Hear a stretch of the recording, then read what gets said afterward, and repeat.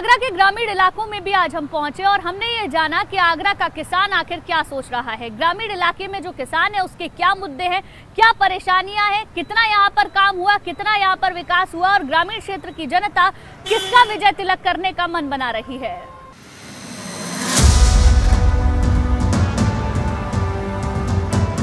आगरा शहर का मिजाज आपने समझ लिया। अब इसके बाद हम पहुँचे हैं ग्रामीण इलाकों में।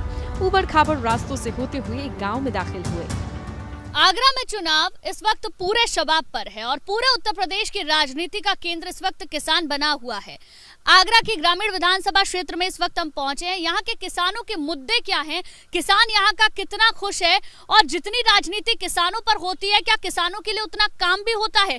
आज इस गाँव के क्षेत्र में हम यहाँ के किसानों से बात भी करेंगे और इनके मुद्दों को भी समझने की कोशिश करेंगे। सड़क पे गहरे गड्ढे थे और लोगों की ज़ुबान पर शिकायतें।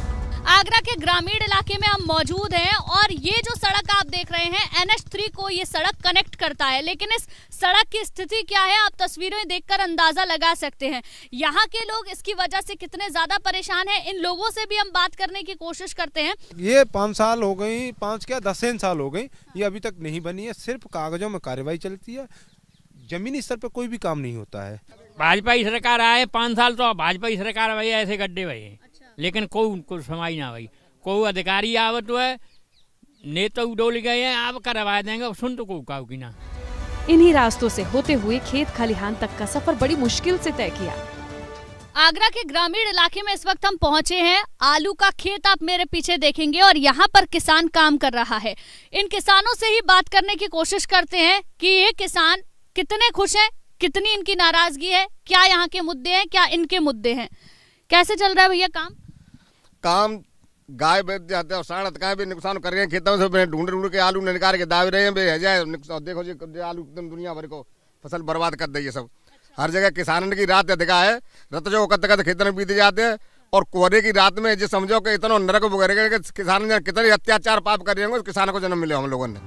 खेत में काम कर रहे किसान ज़मीन खोद कर आलू निकाल रहे थे और जब पूछा कि किसके माथे पर विजय तिलक होगा तो जवाब आपको भी हैरान कर देगा।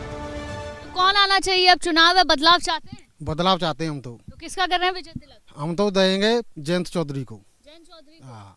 उम्मीद है जयंत चौधरी काम करेंगे? हाँ काम करेंगे। किसानों के मसीहा बोई हैं। चाचा आपको क्या लग रहा है? किसका कर रहे हैं विजय तिलक?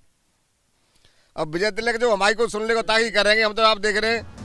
आगरा के शहरी और ग्रामीण इलाके का मिजाज बता रहा है कि किसके सिर सजेगा सत्ता का ताज? किसके माथे पर होगा विजय तिलक? लेकिन हमारा सफ़र यहीं नहीं रुका। हम निकल पड़े ताज नगरी से, चूड़ियों के शहर, फिरोजाबाद के लिए। एबीपी गंगा के लिए आगरा से गुंजन दीक्षित के साथ ब्यूरो रिपोर्ट।